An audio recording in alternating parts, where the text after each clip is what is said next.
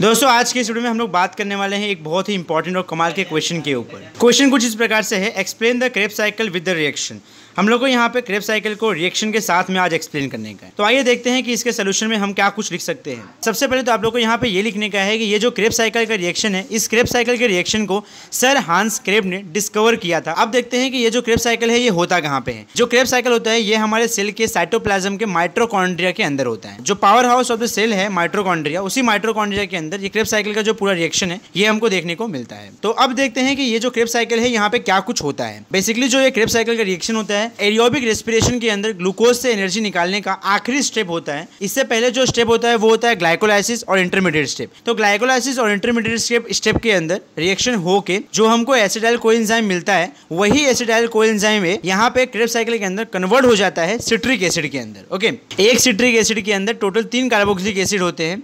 यही रीजन है कि ये जो क्रेप साइकिल का रिएक्शन होता है, इसको हम लोग ट्राई कार्बोक्सिलिक एसिड साइकिल भी बोलते हैं। अब देखते हैं कि ये जो क्रेप साइकिल रिएक्शन होता है, यहाँ पे हमको क्या कुछ देखने को मिलता है। सबसे पहले ये जो क्रेप साइकिल का रिएक्शन होता है, यहाँ पे हमको डायरेक्ट एनर्जी मिलती है एटीपी दूसरा इनडायरेक्ट एनर्जी मिलती है, तीन नाड़ू और एक फाड़ू।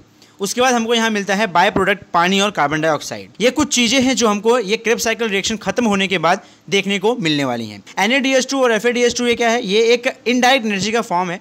जब ये जाता है ए टी रिएक्शन के अंदर तो ए टी रिएक्शन में जाने के बाद इसका कन्वर्जन हो जाता है डायरेक्ट एनर्जी फॉर्म में दैट इज़ ए टी के फॉर्म में। और ए टी के फॉर्म में जो एनर्जी बनती है, उसका हम अपने डेली लाइफ में यूज़ कर लेते हैं। सो आई होप आप लोगों को ये क्रेप साइकिल समझने में ज़्यादा तकलीफ़ नहीं हुई होगी।